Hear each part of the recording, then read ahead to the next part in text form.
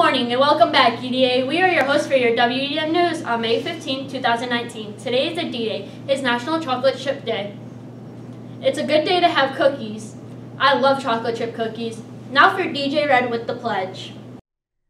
Good morning, EDA peeps. This is DJ Red with your morning pledge.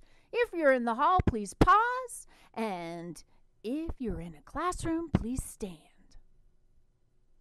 I pledge allegiance to the flag of the United States of America and to the republic for which it stands, one nation under God, indivisible, with liberty and justice for all.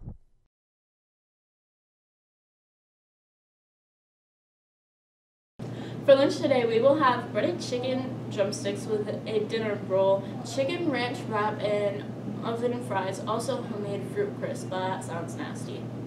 For today's weather, we will have a high of 66 and a low of 47 with 20% chance of rain. I hope I really hope it doesn't rain today. We have had enough. I need some sunshine in my life.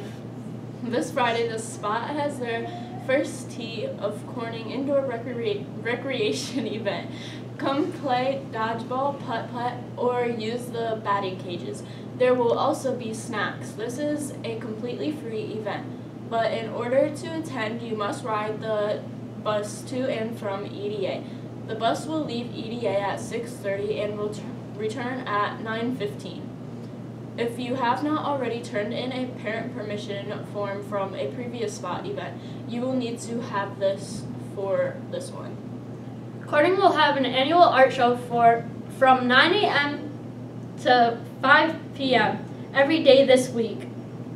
On Monday at the Steele, the manga and anime club will meet from 6:30 to 7:30. Come and eat snacks, watch anime, draw, discuss your draw and discuss your favorite manga and more.